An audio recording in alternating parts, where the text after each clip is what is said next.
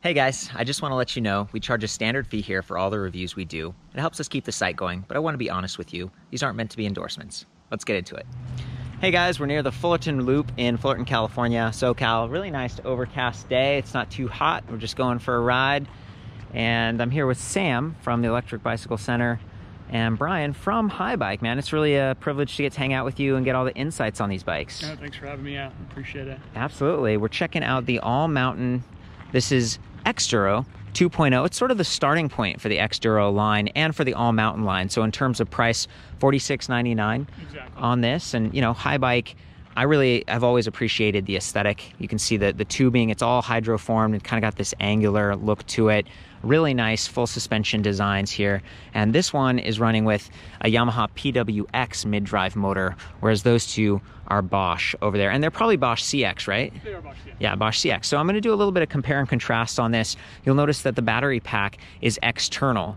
And that's how it is on most of the Yamaha bikes that I've looked at, especially in the Haibike line, whereas Bosch is going a little bit more towards the integrated power tube. It is heavier, okay? So this one being like 6.7 pounds versus I think 6.3 just for the metal battery, but you've also got a cover and you've got a little bit more frame material in my experience. So 51.2 pounds for this entire bike right here. We are on the medium. Comes in five frame sizes, so fit is really taken care of uh, with Haibike. I, I really appreciate that. One colorway, we've got the gloss black, gloss red, you know, internally routed cables with these nice big grommets, so they're easier to service. I love that they've got the anodized black stanchions on both the front and rear shocks, and even on this dropper post, about 100 millimeters of travel here, uh, 160 up front, 150 in the rear for the actual suspension. So a little bit more up front. Maybe that helps you to absorb those bigger hits, and also just the geometry of the frame. Brian was giving me some feedback earlier. Of course, it has a tapered uh, steer tube up there, and being an air fork, we're a little bit lighter weight. We've got compression adjust right here. We've got rebound, rapid recovery down there, and you can adjust the the sag, right? You can adjust the air pressure on these. So that's really nice. Same thing goes for the rear, compression and rebound adjust. I just like how all this looks and the little attention to detail. Look at this, this little plastic, almost like a like a mud flap or something that's going to block that stanchion. So if you've got muck coming up from your rear tire, it's going to stay clean for that travel and maybe maintain that smooth activation. It's you're not going to get as much stiction. So I, I appreciate that. We've also got some thicker stanchions here, pretty heavy duty through axles front and rear, of course, 15 millimeter up front, 12 millimeter in the rear, boost hub spacing, so 110 versus 100, and that gives you a sturdier spoke bracing angle. Nice 14 gauge spokes, 32 hole on both of these rims. They are Alex rims a little bit wider. They're just going to support that larger tire. So these are plus size tires, 27.5 by 2.8.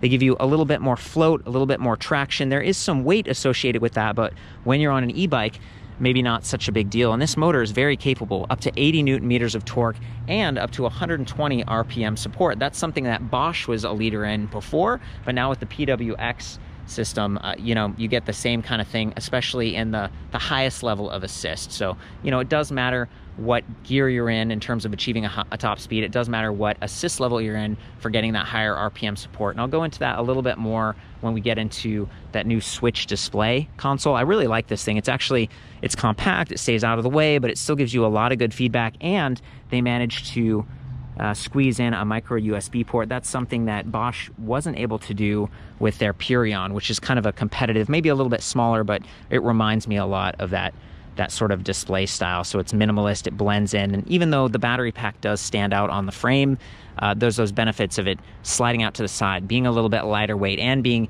interchangeable with other Yamaha bikes. Whereas sometimes the power tube, it could go down, it could go out to the side, it can be heavier, the plates are all different.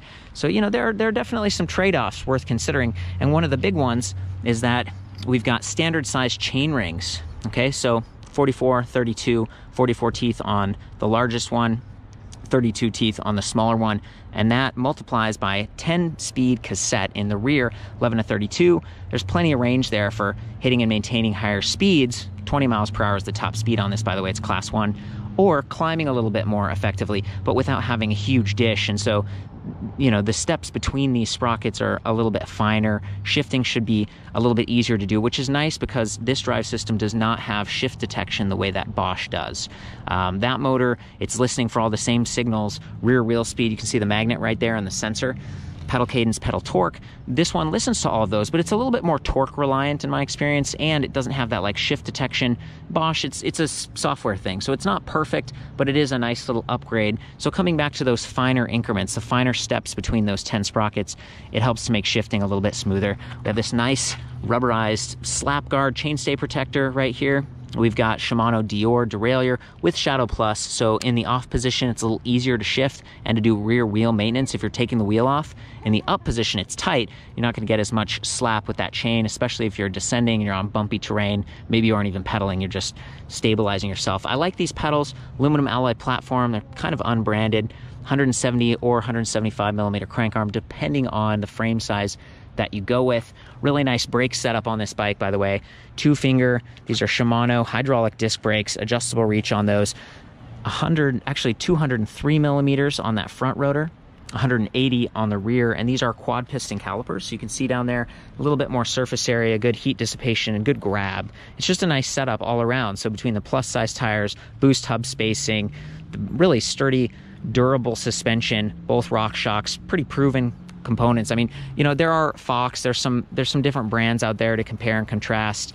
But for, for like the entry point, I feel like this has a lot of good high quality componentry and that dropper seat post just makes it really easy to approach. It's something that, you know, I'd expect to see on like a nice all mountain bike uh, like this. And then the trigger shifters, right and left. Many of the e-bikes, especially from Bosch, they don't have the the two by. You you just I guess you can't do that with the current generation of Bosch motors. So that's a real standout. It's a real highlight for me. And a lot of times I ask myself like, is that really necessary with an e-bike motor? You know, is 10 speeds, 11, even 12 speed, like the SRAM Eagle, that's a lot of gears to choose from. And then you only have one derailleur in terms of weight and adjustment and cable stretch and stuff. I don't love having a second derailleur, but this is a nice way to give you all those extra gears and have those finer steps. And I think it actually works pretty well. Been shifting through and it's, it's doing just fine. Um, yeah, I guess just wanted to come up here and show you the dropper post lever and that short stem. This is kind of like pulled back a little bit. It's going to be good for all types of conditions, riding around uh, mountain, all mountain experience. For a little bit more information on that, I'm going to come over to Brian. You know, fill, fill me in. You guys have a whole range of bikes. Like, who's this one for, and and what does it really mean, the all mountain? I think uh, what you have here is uh, you know, the all mountain platform is is that it's it's an all around rider, but somebody who is going to charge the trails that they're out on. Uh, somebody who's looking for you know a very capable platform that uh, you know if they get into the rougher stuff it's going to take care of them just fine. If they get into the steep stuff uh, you know the way the geometry set up they can feel comfortable with again kind of really you know getting rowdy and, and charging ahead on that. So I think we've done a really good job you know with, with producing a bike that's that's at home under those conditions and when things mellow out a little bit you know this will, will take care of you just as well uh, under those uh, conditions. And then if you want to bump it up you know you have a platform in our enduro line that gives you even longer travel. That's uh, this guy and the little bit slacker head tube angle. Exactly. And that's going to help you take bigger hits downhill but the, the steering's not as quick. Right. the wheelbase is longer on this one it is. Enduro. How does this compare to the full seven over there you know again coming from all mountain full seven? So the All Mountain Full 7 LT are, are great. It's an interesting comparison to make because the Full 7 LT, you know, when you start looking at the spec details, yeah, it looks pretty similar. It's got 150 mil yeah. travel front and rear. Of course, with the all mountain, now we're doing 160 in the front. So you have a very, very capable platform here. It's plus size tire again, so the similarities are there. But then you start looking at the finer points. The geometry on this bike, it's a little bit shorter in the wheelbase. It's a little bit taller in the head tube hmm. and, and, just a little bit steeper in the head tube angle. So, you know, if we're talking about uh, in the all mountain, a, a bike that's that's great for terrain that's perhaps you know more aggressive, a little more you know alpine in nature, uh, where you have long extended descents. Hmm. Uh, you know the full 7 LT with those little tweaks is is a great bike for terrain that's probably you know mellower to rolling, where you know having trail or having a bike that's a bit quicker handling, sort of going in and out of twisty switchbacks. Um, you know, with that steeper head tube angle, you know, it's going to be a little more playful and a little better, uh, you know, suited for those conditions. So hmm. it's it's kind of a, uh, a really nice complement to the all mountain, uh, but you know, filling a different niche. So, so it's like capable and then like a little bit more hardcore. For sure. Okay, cool. And then like really then hardcore. This takes hardcore to the next, uh, you know, level with. Uh, uh, you know, 180 travel. And you can see that it's like the handlebars always want to turn because it's kind of got that that slack uh, head tube angle. Uh, you do still have like a downhill model, right? We do. We still have two downhill models in the lineup. Uh, those those take sort of that inter- incremental, uh, um, you know, steps a, a, notch further. In that the downhill bike will have a 200 millimeter travel platform and it's a slightly longer wheelbase still and a slightly slacker front end. It's a very particular purpose built machine for those who want to shuttle themselves up and then again, you know, hit those descents, um, you know, at, an all-out pace, and then cycle through again. You know, yeah. shuttle themselves back up to the top, That's and let's sweet. let's hit it again. It's it's really a fun bike, uh, and uh, you know, for those who've embraced it, you know, it's it's been uh, you know the perfect fit. So. But that ride style, like I'm I'm more of like the all mountain, and maybe even like the full seven or whatever, just because I'm riding on stuff like this. I, I have like one bike, right, and so that's kind of the bike that does it all personally, but it's still very capable. Like you said, it can handle the downhill, especially with those those larger tires, the plus size. It gives you that stability and um, forgiveness is like a word that comes to mind. It does when it you're does. riding down a, a, trail, you know. And these Maxxis tires, you were saying that they're they're a nice upgrade. Um, you know, in the past you've had a lot of Schwalbe, and that's great, but the the rubber's been a little bit softer. These these are holding up better for you. Yeah, the, considering where we are today, you know, Southern California and the Southwest, the terrain's a little bit uh, rougher on on rubber. So the Maxxis tire, you know, it's a very durable uh, tire, and uh, you yeah. know, it's been well received as, as at the spec level. Or for streets. So for me, again, one bike that you I ride my bike, my full suspension bike on concrete a lot, like to the trails okay. and just around town. So having a little bit I don't know, more durable rubber or something comes to mind. This also has like a puncture protection uh, system going on here. I think it's the EXO protection. So that's nice, you know, when you're going across, maybe there are thorns or something, it's not going to get punctured quite as easily. Coming back to the motor, because for me, that's the big, you, you, know, there there is a difference between uh, Bosch and Yamaha. And in this case, the weight on this thing, it's like 6.8 pounds versus 8.8 pounds on Bosch doesn't have the shift detection. The Q factor is really narrow. It's like 170 millimeters. So, you know, the, the drivetrain, maybe it, it offers a little bit more room for the double chainring that we see there. Um, it's quiet, it's efficient, it's it's nice. They've got this plastic skid plate here and the gravity casting interface. It tipped up the motor and interfaces with this nice hydroform tubing. You can see the gussets here. This is hardcore stuff. Like Haibike's definitely a leader in the space. If you haven't heard them uh, before because you're in North America, it's a German company. They've been around for a while and they're really a leader in the electric mountain bike space.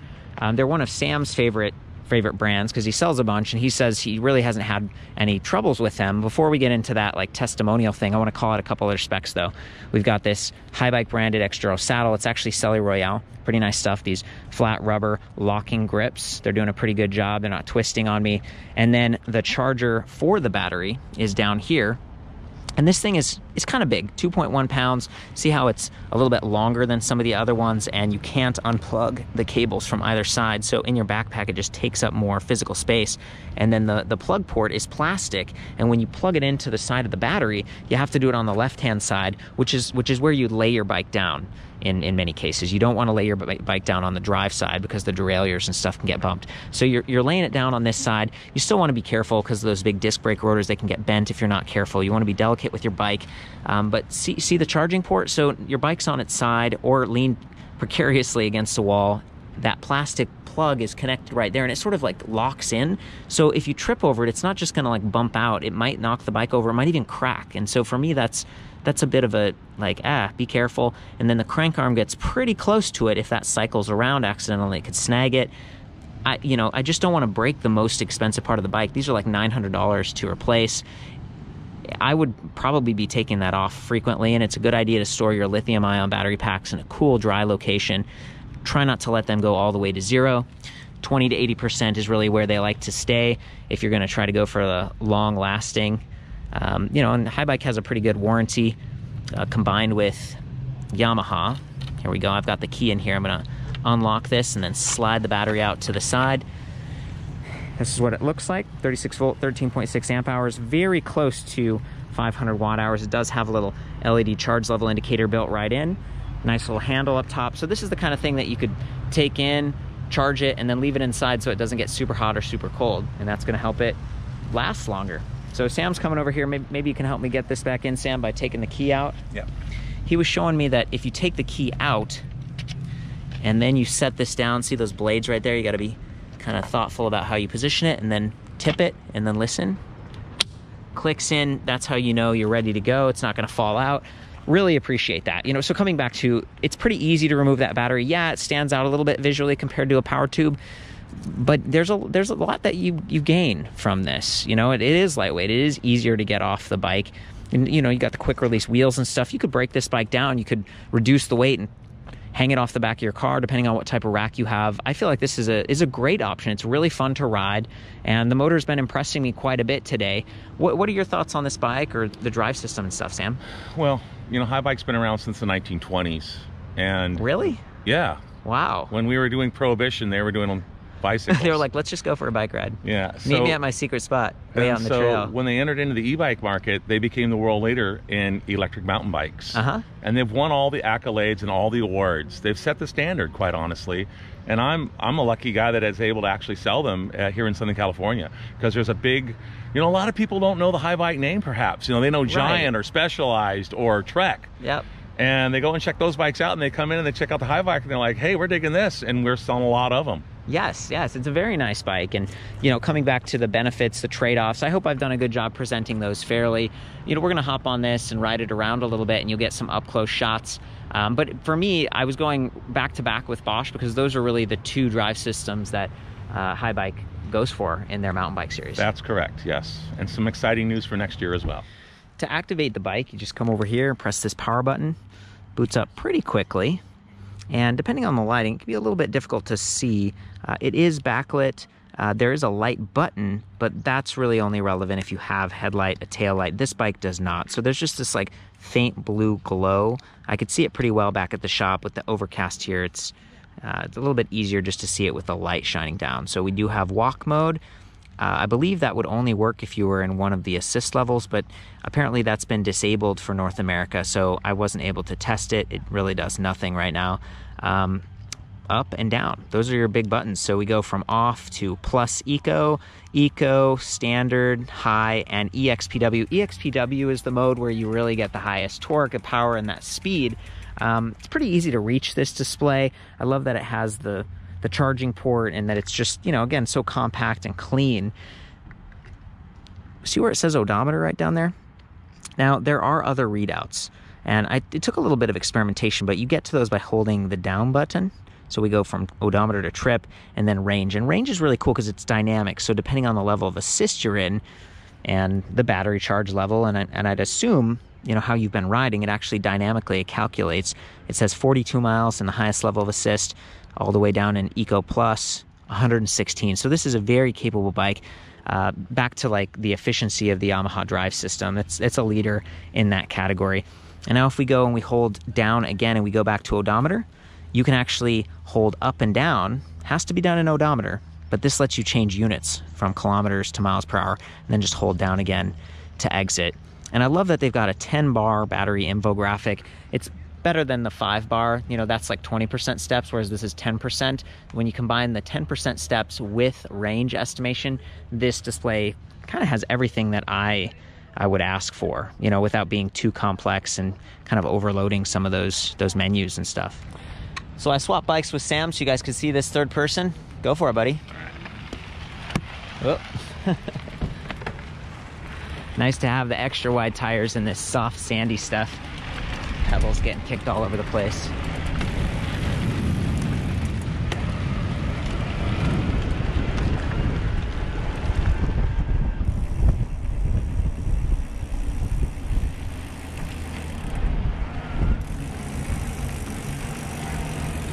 Very comfortable suspension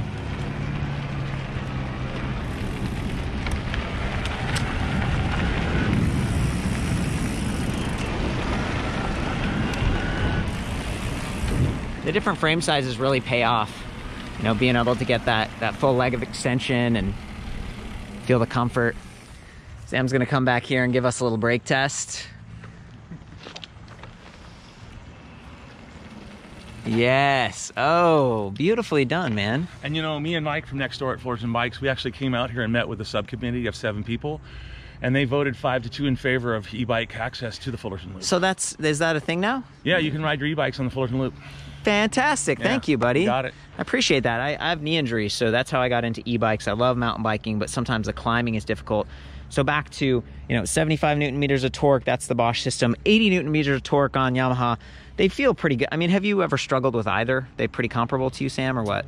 I well, uh, I have limitations on what I'm able to do. I'm not a you know pro mountain biker by any means. So you're not pushing the We've system. gone up in the Santa Monica Mountains, and I can get to the point where I'm losing traction with the rear wheel. So if I can climb to that point, at that point I'm usually ready to get off and uh, carry the bike up to the next section. And you're, you know, a bigger fellow, right? Yep. That's uh, that's impressive.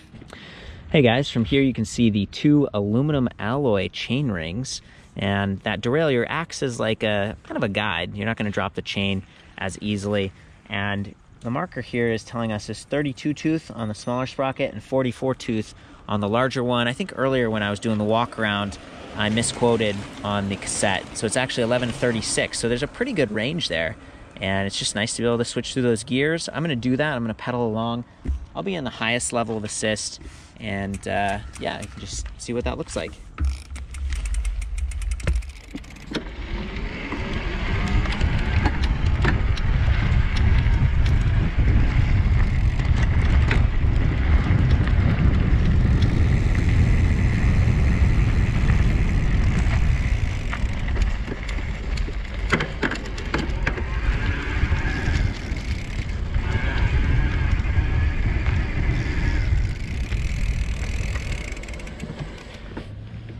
Feeling pretty responsive. You know, Brian was saying the way that the battery is designed coming out to the side, it allows them to get that lower standover height with that top tube and the nice angles. Um, it's a good system, and I'm, I was pushing it here, trying to hit that high RPM, the 120. So I'm up in EXPW, and that's the highest level of assist. I'm going to do that again. You definitely have to switch gears, get in those higher gears to hit the higher speed, 20 miles per hour class one. But you know, it's it's definitely powerful even in that highest level. I meant even in that highest gear.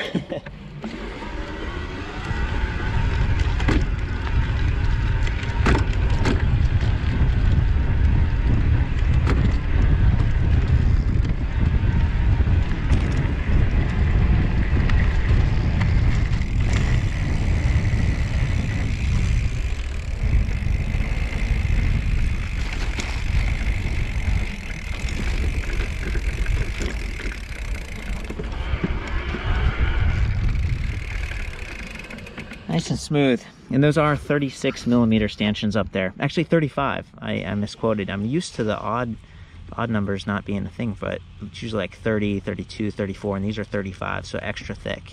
I think that's about it, you guys. Like I said before, my goal is to give you all the specs and some insight and then, you know, pick Brian's brain. It's a real pleasure having you out here, Brian. Thank you for coming with the bikes and stuff. For the full written review, I'll see you guys back at electricbikereview.com. Ride safe, have fun. Love you guys. That is the All Mountain 2.0 Xduro.